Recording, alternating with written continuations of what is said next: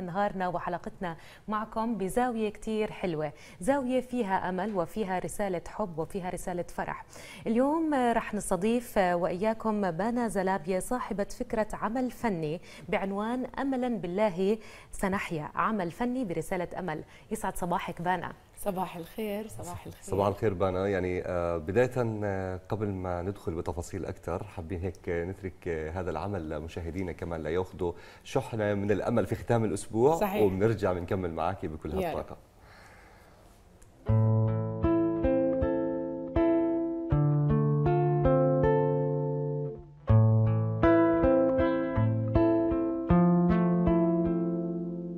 أملا بالله سنحيا علمنا الحب الله ولأن الآمل هوانا نمضي حبا في الله.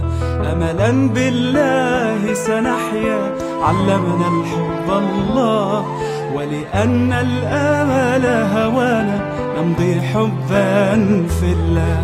وتدور بنا الأيام وظلام الكون يسود وتكاثرت الآلام والفرحة إلا تعود.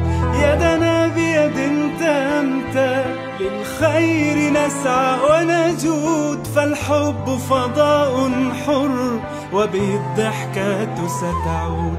شمس قمر وضياء فالأرض البيت الواحد. يسكننا كل رجاء بعطاء أمضي وأعاد. بالله سنحيا علمنا الحب الله. وأن الأمل هوانا نمضي حبا في الله مضى عام قاس فينا كم تاهت فيه أماني. فرقنا فيه أحبة وتألم وكم نعاد. ضحكاتنا سوف تعود مهما تقسو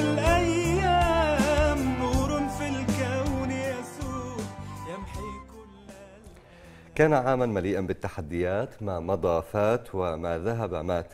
منا من فقد غالي ومنا من فقد حلم ولكن بالإيمان والأمل تتجدد الأمنيات. هكذا قدمت بان هذا العمل لكل جمهورها ولكل أبناء شعبنا ولكل العالم. هذه الرسالة الرسالة المعجونة بالأمل وهذا اللقب يمكن قليلا نقول عنك سفيرة الحب والأمل سفيرة الجمال كمان. يسعد صباحك. شكرا على هالطاقة وشكرا على هالعمل يسعد صباحكم جميعا. يسعد صباح الشعب الفلسطيني والعالم بأسره. وأنا يعني بعد ما أنت حكيت هذا الكلام خلص ما لي ولا شيء يسعد صباحك يا بانا. يعني عن جد يعطيك العافية على هذا الجهد المبذول. يعني هاي كانت هيك رسالة عطاء وأمل للناس لحتى يتفائلوا بالعام الجديد عام 2021 إن شاء الله يكون عام خير على الجميع. رب. كمان بنعيد على الناس والطوائف المسيحية الشرقية اللي اليوم بمناسبة عيد. الميلاد المجيد. بالبداية بدنا نعرف ليش حبت بانا أنها تعمل هاي الفكرة. شوفي أقول لك شغلة يعني إحنا كشعب فلسطيني خلينا نقول متعودين على الصدمات يعني وشعب جبار متعود. فأنا حبيت هيك رسالة أمل آه، يعني أوزعها على كل الناس بطريقة كتير بسيطة. آم، عشنا عام كتير كتير صعب. بغض النظر يعني كل بني آدم في هذا العام تضرر. كل بني آدم تأثر بالظروف اللي إحنا كنا عايشين فيها. كل واحد خلينا نقول على مستواه تضرر يعني. فبالنهاية رسالة أمل بسيطة ممكن تعطينا هيك شوية تفاؤل بالسنة الجديدة. وبالنسبة لإلي أنا المتابعين اللي بيتابعوني على آه، السوشيال ميديا عندهم وعي فكري كتير كبير. فصدقيني يعني حركة بسيطة مني حسيت إنهم هم يعني انتفضوا.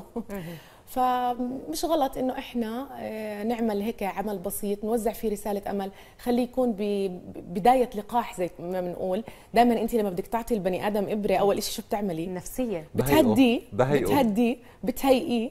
فبعدين بتعطيه اللقاح صح ولا لا فاحنا هذا اللي عملناه مش أكثر إن شاء الله نكون إنه إحنا تركنا بصمة ورسالة حلوة يعني وأنا هذا هي. الفكرة وكلمات بتجنن والصوت كمان مع الفنان الفلسطيني نادر حمودة يعني كمان رائع، رائع. أعطى كمان ال- الكلام ودائما. آه، نحن شعب ممكن نقول آه، درويش قال نحن شعب محكوم بالأمل صحيح. وكمان كلمات الرضا واللي فيها دعاء واملا بالله سنحيا صحيح. هذا اللي إحنا باقيين عليه آه، قد إيه شفتي آه، صدى المتابعين وكيف علقوا على هذا الفيديو بعد ما أنت قدمتي لهم اياه إهداء على صفحاتك على ال social media؟ يعني الحمد لله أكيد أنتم كلكم لمستوا قديش صدى الأغنية كان حلو. أنا أصريت إنه الأغنية تكون باللغة العربية الفصحى. لما أنا اتصلت في نادر وقلت له نادر بدنا العمل يكون باللغة العربية الفصحى عشان يوصل لأكبر قدر ممكن من العالم. وممكن يوصل لناس برا فلسطين. وفعلا هذا اللي صار. أنا وأنا بقرأ ال comments صرت أقرأ comments من الجزائر من مصر. يعني فأنا هذا اللي أنا عانيته إنه ليش تكون باللغة العربية الفصحى؟ ولغتنا هي بالنهاية. صحيح. فأثرت في الكل. كمان الكلمات إذا بتنتبهي فيها يعني زي ما بقولوا طلوع ونزول فيها يعني آه، أمل بتعطيكي وكمان بتحسسك قديش إحنا عشنا بظروف صعبة. حتى المشاهد إذا بتطلع عليهم في مشاهد حزينة مباشرة إحنا بنرد منداوي. كنت أعلق على موضوع زاوية المشاهد تحديدا. أنت كمان قدمتي شكر من خلال هذا العمل للاجهزه الامنيه للطواقم الصحية صحيح. طواقم الصحفيين وشفنا كثير من الوجوه اللي كمان صحيح. عم بنعيشها وبنعيش معها. هاي كمان لفتة مهمة جدا إنه من خلال فننا ومن خلال السوشيال ميديا نقدم لكل حدا حقه وواجبه كمان. صحيح. والله أنا يعني بدي أحكي كلمة عن جد. أنا بفتخر إني أنا عايشة في هاي البلد لأنه القيادات الموجودة عندنا والكوادر الطبية والامنيه تعاونوا معي يعني بطريقة خيال. يعني مجرد ما أحكي الفكرة بس ما يعطوني مجال يقولوا لي إحنا go ahead معاكي ما في مشكلة. أقول لهم إحنا بس بدنا نعطي رسالة أمل للناس بدنا كذا. بتعرفي إنه لازم ناخذ إذن يعني إحنا. كمان بالنهاية هذا عمل خير والكل صحيح. يعني بتعاون لما يكون في عمل خير. يا صحيح يا بس okay بس برضه ممكن إنك أنت تستصعبي شوي إنك صحيح. انت تاخذي إذن من هون ومن هون. على طول يعني من كلهم بقدرش أحكي أسامي لأنه عن جد كله تعاون معنا الحمد لله. كمان يعطيهم العافية. والطواقم الأمنية والطواقم الطبية. حابه أحكي عن التصوير والدقة والاحترافية العالية. يعني كل هذا أكيد أنت كمان أشرفتي عليه بأنا. صحيح خطوة بخطوة. أكيد. وكمان هذا بده تعب. يعني صعب إنك توصلي كمان صورة ورسالة وتكون بمثل هاي الاحترافية. صحيح. نحكي عن الطاقم المتعاونين والشركاء اللي معاكي كمان. شوفي هي الفكرة مجرد ما أنا إجت في بالي على طول كل اللي قاعدين معي بال team قالوا لي بأنا إحنا بحاجة لمخرج بحاجة لسيناريو بحاجة ل... انت ما رح تقدري لحالك. أقول لهم لا اتركوني. يعني أنا حابة العمل يطلع من كوني أنا أكون تعبانة فيه بكل تفصيلة. إحنا ما كان معنا مخرج ما كان معنا آه، سيناريو. بس أنت كان لك تجربة إعلامية يعني ب 30 حلقة يمكن إنها هي ساعدت شوي. آه, آه بس إنه ما كان في يعني العمل طلع يعني بالضخامة هاي من قاع بسيط كثير يعني ما كان في مخرج أصريت إنه إحنا نصور مشاهد من الشارع تكون مشاهد حقيقية. يعني إذا بدنا نجيب مخرج يقول لي لازم نجيب ممثلين واقول لهم لا, لا. أنا بدي آخذ الدكتور فعلا اللي تعب الدكتور اللي أخذنا من وقتها إحنا وإجت اشتغلت معنا الكوادر الأمنية هم الحقيقيين فعلا ما جبنا ناس تلبس وك... لا هم هم يعني كله. فأصريت إنها تكون من الواقع الشارع الفلسطيني. والحمد لله ما هو زي ما بيقولوا لما بيكون في تيسير بالأمور بيكون في قبول. شوفي النية على نياتكم ترزقون. الحمد لله. سفيرة الحمد الإيجابية كمان وسفيرة العطاء لله. يعني كان لك تجارب كثير كبيرة بالعمل الإنساني والعمل الخيري. صحيح. ومن لا يشكر الناس لا يشكر الله. يعني هاي كمان رسالة شكر نقدم لك شكرا. ويمكن هاي اللي سهلت عليك إنه أنت كمان تعيشي الإشي اللي بروحك في كل بسمة صحيح. بكل بكل قهر ممكن يمر علينا. قديش بتحسي إنه يمكن هذا العمل كمان آه، ينقلك لعالم آخر آه، كل عام نصير ننتظر منك. كمان هيك videos هيك رسائل هي هاي هيك محبة. بالضبط هي هاي المسؤولية اللي أنا بتعرفي امبارح أنا قاعدة بحكي لبابا وماما بقول لهم أنا حسيت حالي هلأ صرت في مسؤولية كبيرة علي. إنه حاسة إنه الناس هلأ عم تستنى إنه أنا أطلع بشيء ثاني يعني حتى لما بيجوا بيقولوا لي ببعثوا لي على ال comment سفيرة السعادة سفيرة الك... بقول لهم قديش الاسم بفرحني قديش بحملني مسؤولية كبيرة. صحيح. إنه أنا لازم على طول صرت الناس بتستنى. إنه هي جاي رمضان أكيد حنعمل شيء هي جاي العيد أكيد حنعمل شيء فهو قديش مفرح قديش في على كتافي مسؤولية كبيرة صرت صحيح. وخصوصا مع كثرة أعداد المؤثرين يعني على مواقع التواصل الاجتماعي. صحيح. قديش مهم إنه إحنا كمان لما آه، يمكن نحضر ستوريات حدا من المؤثرين نشوف محتوى نشوف مضمون وما أجمل مضمونك يا بانا. يا يعني آه، خصوصا في آه، هاي الفكرة في هذا العمل الفني. حابين هيك نسمع منك كمان عن صدى الناس من العالم العربي. ذكرتي قبل شوي حكيتي من الجزائر من مصر. كيف كمان التجاوب كان معهم؟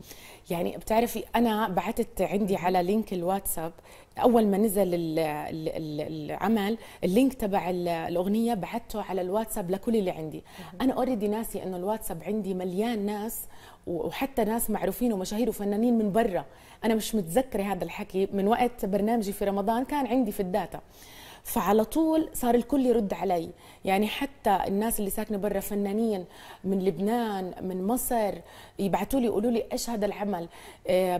ما ما ضل حدا. يعني محمد عساف بعث لي يقول لي بانا إيش هالعمل الرائع هذا؟ أنا بفتخر إنه في حدا عن جد في بلدي بيعمل هيك عمل. آه، قيادات كبيرة حكت معي والله تليفون. يعني أنا ما بدي أحكي بس يقولوا لي بانا إحنا جدا يعني أنت إجيتي عندي سين من الناس يقول لي أنت إجيتي عندي وقلتي لي بشرفني إنك تكون معي بالعمل. أنا هلأ بقول لك إنه أنا متشرف إني أنا كنت في هذا العمل. وإحنا متشرفين إنه أنت فهذا موجودة كلام معنا. رائع. وإحنا متشرفين إنه نختم هال هالأسبوع نختم هاللقاء بوجودك. املا بالله سنحيا نحن نعيش في هذا الكون حياة واحدة فقط. دعونا نجعلها أفضل حياة ممكنة. شكرا يا بانا شكرا لك شكرا لك يارا ونهاركم سعيد وسنة مليئة بالحياة والسعادة والأمل وكل الناس تحقق أحلامها. إن شاء الله يا رب. كل الشكر لك بانا زلابية